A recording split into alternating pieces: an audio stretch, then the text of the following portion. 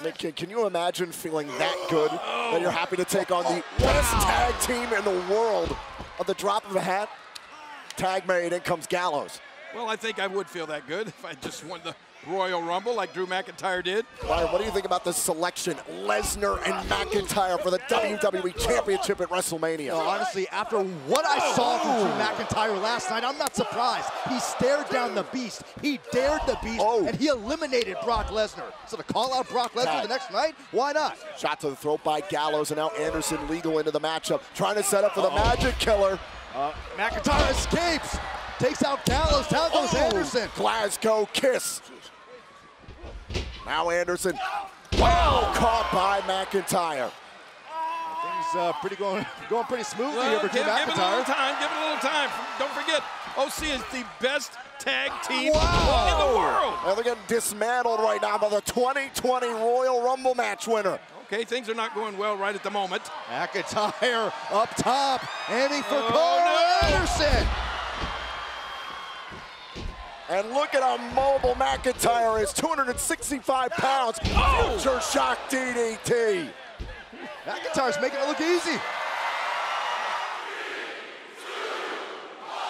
Up, Oh, there it is. Welcome to the party. up. Oh, no. That's one more. Party's not over.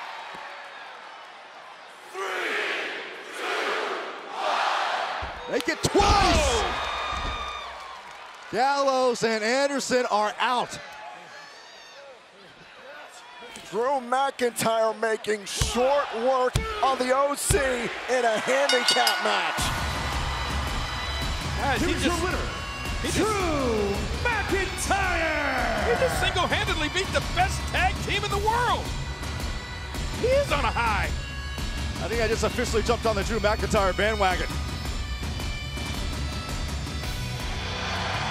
Drew McIntyre has every right to feel as good as he does because last night he outlasted 29 other men, including the WWE Champion Brock Lesnar, won the Royal Rumble match and is guaranteed his title opportunity in oh, Tampa. Oh, oh, oh, wait, not done yet. See you, Gallows. Thanks for coming to the party. And Karl Anderson, you too. And look at this. Whoa, whoa, whoa, whoa. Brock Lesnar! Brock Lesnar! Oh no. The WWE Champion! F5! A huge F5. Apparently the beast. Apparently the beast is a party pooper. That is one angry beast incarnate.